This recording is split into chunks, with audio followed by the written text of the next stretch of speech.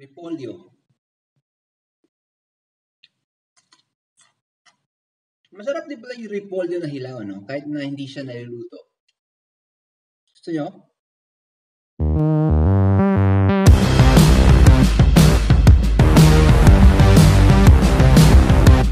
Alright, so welcome back sa ating vlog, mga ka-vlog. so welcome back mga ka-vlog. So uh, ngayong araw na to, yung uh, vlog natin for today, it's about pagkain ulit ng mga Thai. Okay? So ito yung magiging lunch natin or lunch ko. Actually kanina, uh, lumabas ako at may binili ako na mga ganito. Oops.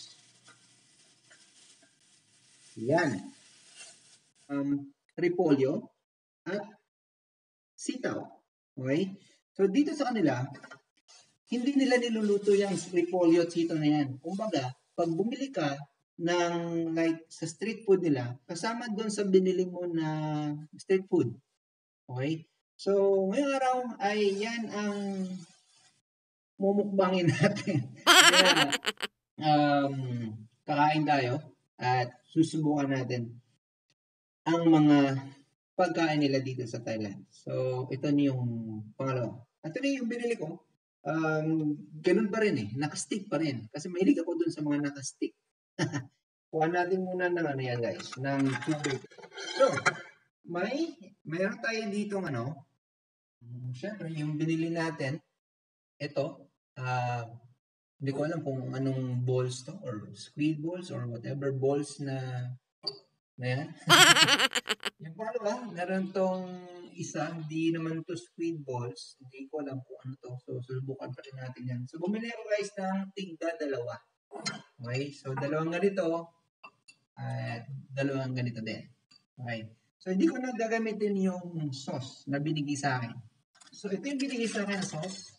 No?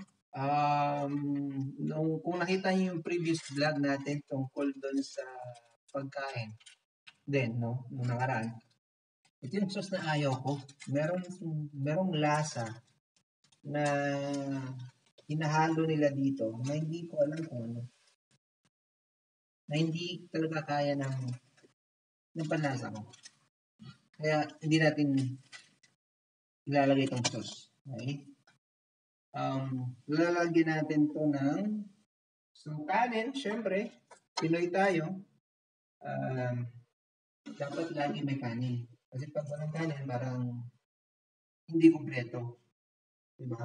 Hindi pwedeng sa isang araw ay wala tayong kinakain na kanin. Diba? So, yan. At, lalagay ko dito, syempre, patis. Soy sauce ba to? Oh, soy sauce. Wala akong ano, pero ito na lang. Lagay natin ng sabaw. Oops. Oops, oops. Tingnan natin kung ano maging lasa ito. At yung ating ganito ay ilagyan natin ng yan. Okay. Hala, okay. So tara guys, kaya na na. Subukan natin kung anong maging lasa nito. Hmm. Ano ba to? Squid ba? Hindi. Hmm. Subukan natin yung repolyo.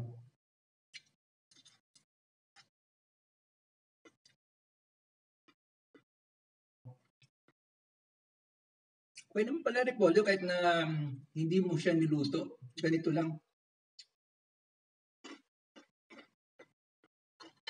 Okay naman.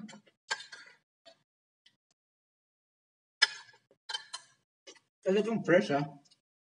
Subukan natin to. Sitaw.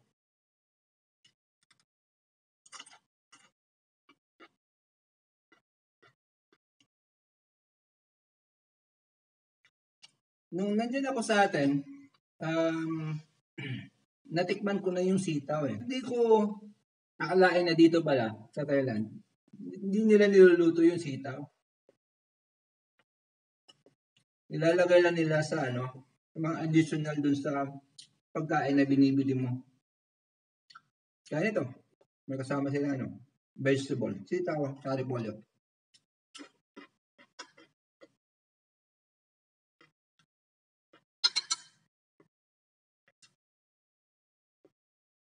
Magkakamay na tayo. Ano kasi pag nakakamay, di ba? Kasi nakapaghugas na rin ako kanina pa eh.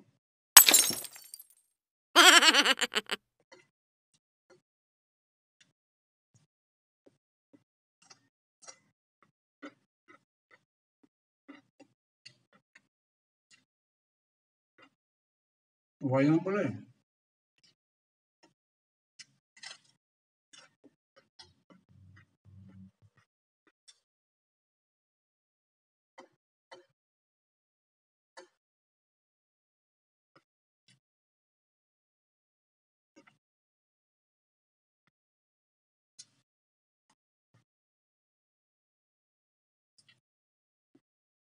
Dagdagan natin ng soy sauce.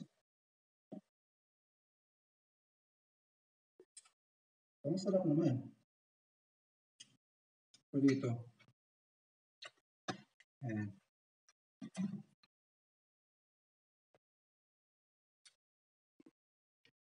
Mm.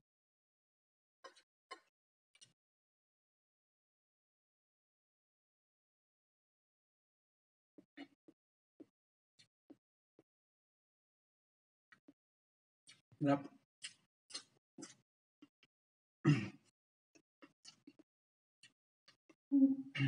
Yung nakaraan parang ayokong kumain ng sitaw na hilaw at ng repolyo hilaw. Pero ngayon okay naman eh. Sarap naman. Subukan nyo. Kung meron kayong sitaw o repolyo dyan sa atin, subukan nyo. Masarap.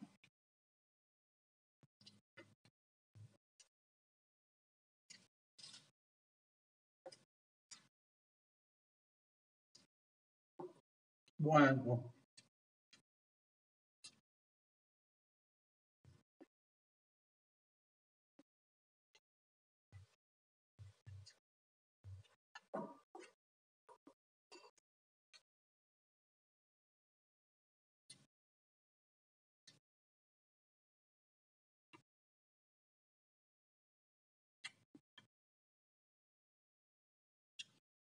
Guys, di ko alam kung ano yung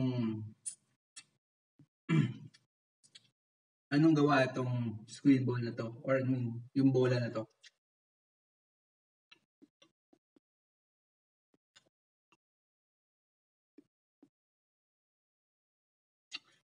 Parang ano ba?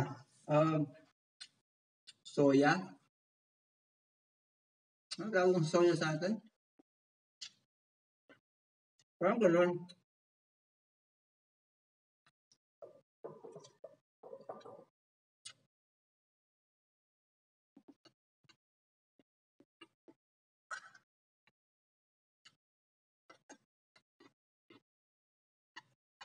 Sarap.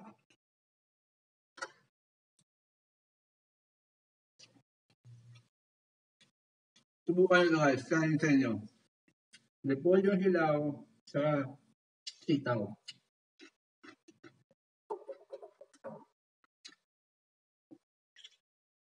Pero hindi ko alam talaga kung kung bakit yung mga Thai mahilig doon sa uh, mga maraming o dito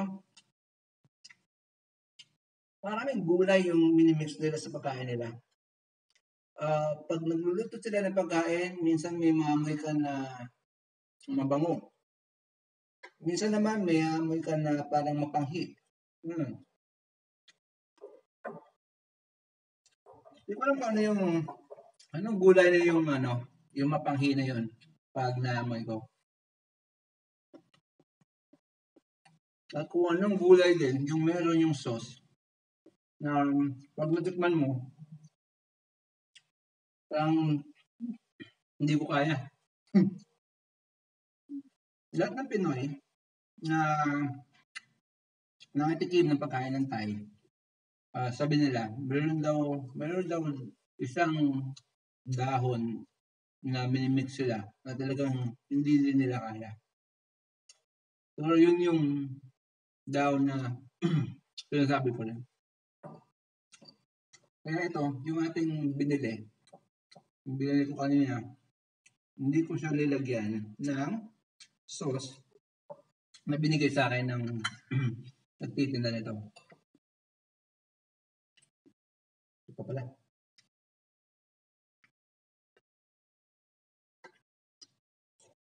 Hmm.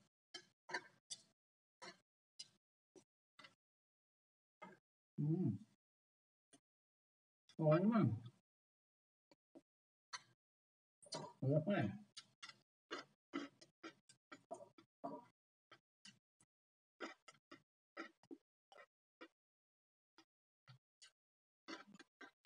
Maging healthy kaya ako dito. Kasi puro hilaw kinakain eh.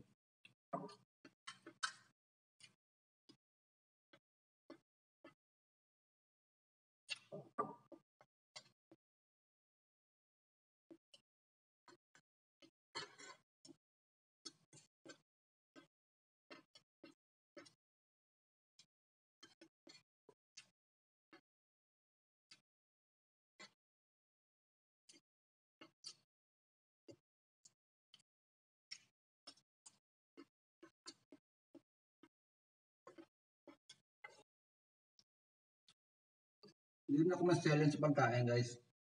Basta hindi lang masyado masama sa panlasa, okay lang yun.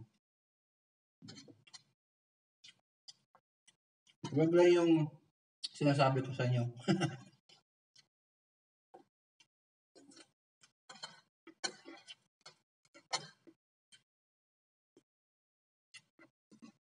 Mga kanin.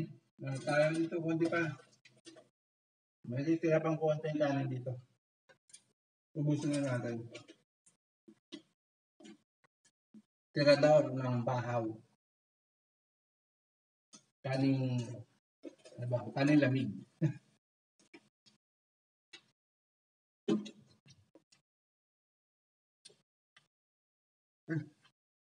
Libutan ko yung sabaw natin. Sabaw mo. Sabaw toyo. Alam niyo ba, nung bata pa ako, Siyempre, mahirap yung buhay dati eh. Hanggang ngayon, mahirap pa rin. Yung toyo, nilalagyan pa yun ng nanay ko dati na ano, ng mantika. Pagkatapos, may konting asin. So, yun ang ulam. Diba? Toyo, mantika, tapos lalagyan ng asin, konti yung kanin. Ulam na. Masisal na yun. Kasi meron ng repolyo, meron pang sitaw.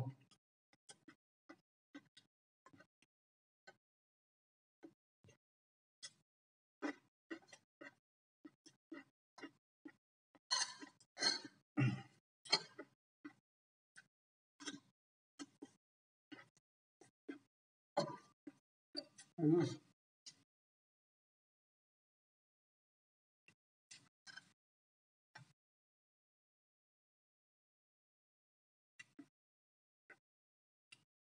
Lasang siomay, no?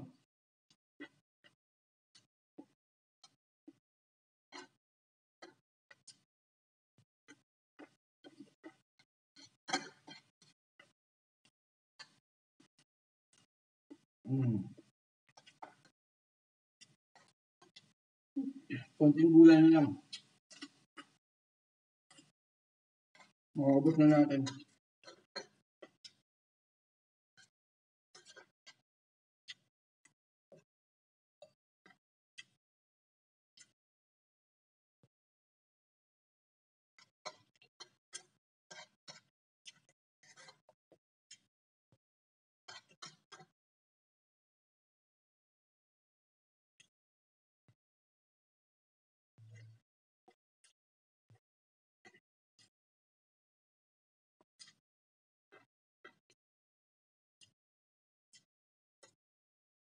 Isang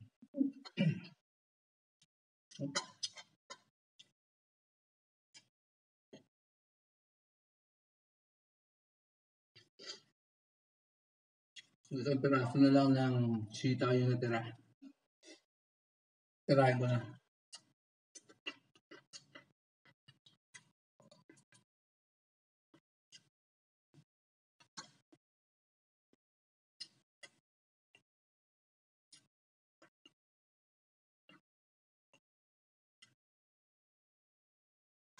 Hmm.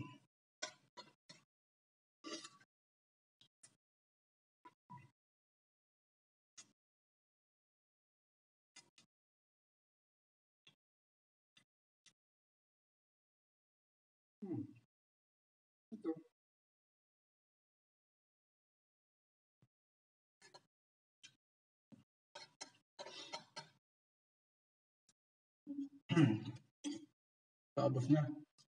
Na. Ang stick ko lang.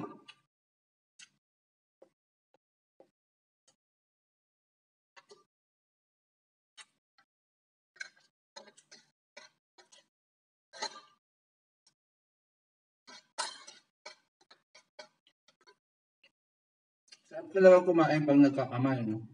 Pang Pilipino mo yung kinakain mo, eh.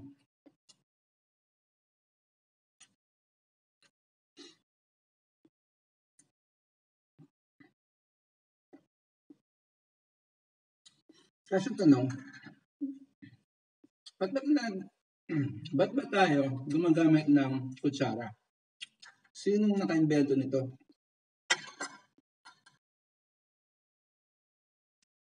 Kung may idea kayo kung sino naka-invento ng kutsara, comment sa baba.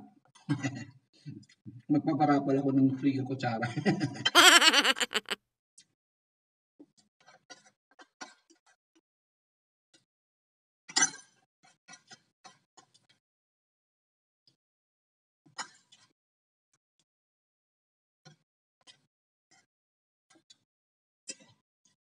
Sa amin, bawal yung may mga tira-tira. Tirang kanin, ano. Hindi kami sanay na kumain na may natitirang kanin sa plato o sa pinggan. Yun.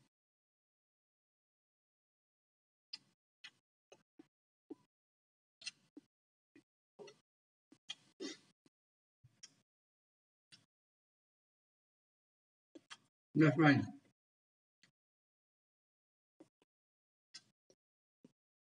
Hmm.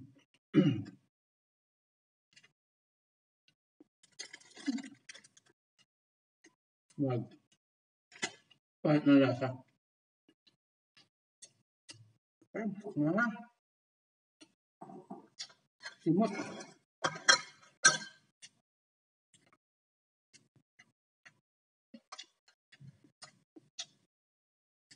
Simot.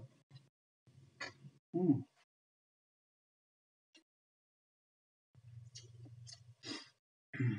Alright, so guys, nandito na yung video natin for today. For yung ating mukbang vlog ng araw na ito.